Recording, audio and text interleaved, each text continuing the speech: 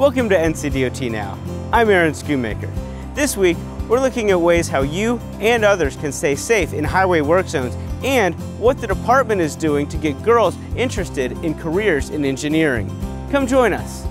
As North Carolina's demographics shift and new transportation technologies emerge, NCDOT Secretary Jim Trogdon has formed the NC Future Investment Resources for Sustainable Transportation Commission, known as the NC First Commission. The group, made up of experts in various professions, will meet over the next 18 months to research the impacts of these changes in the state's transportation investment system and recommend changes to our current investment strategy. Learn more about the Commission at the website shown.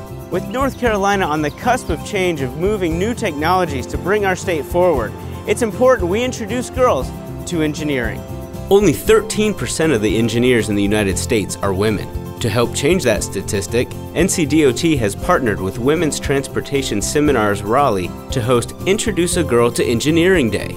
This week, high school age girls from Wake, Johnston, Rowan, and Northampton counties participated. They heard from NCDOT engineers about their daily duties, necessary job skills, and what the future of women in engineering could look like.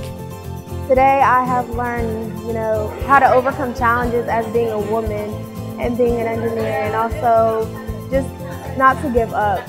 And we may see a whole room full of men, but we have to empower ourselves and also focus on the other women around us.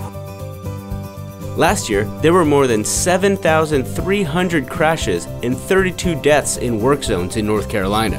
The primary causes speeding and distracted driving.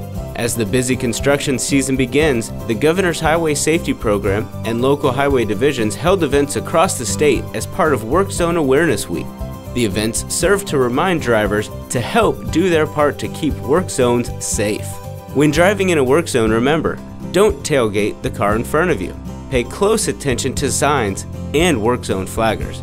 Obey the speed limits in and around work zones. And do not change lanes.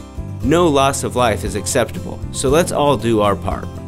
That's all for this week's edition of NCDOT Now. From all of us at the North Carolina Department of Transportation, safe travels.